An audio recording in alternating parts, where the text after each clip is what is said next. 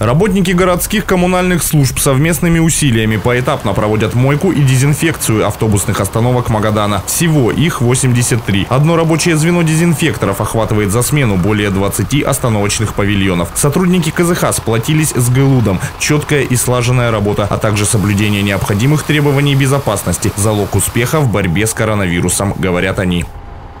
А Специалисты нашего учреждения с помощью ручного ранцевого инвентаря а, производят обработку хлоросодержащими растворами, рекомендованными Роспотребнадзором для обработки от разного рода бактерий и вирусов. Работа ведется начиная с 8 мая. Работа будет продолжаться до момента, когда поборем всем миром а, данную напасть. Алексей Гаврилов также отметил, что дезинфекцию остановочных павильонов осуществляют в два этапа. На первом остановку умоют, этим занимаются сотрудники ГЛУД. На втором, после высыхания, обрабатывают дезинфицирующими средствами работники комбината зеленого хозяйства. Сейчас каждую автобусную остановку обрабатывают однократно. В дальнейшем планируется проводить данные мероприятия повторно по мере необходимости. В скором времени, когда период самоизоляции завершится, дезинфицировать будут дорожное покрытие и детские площадки.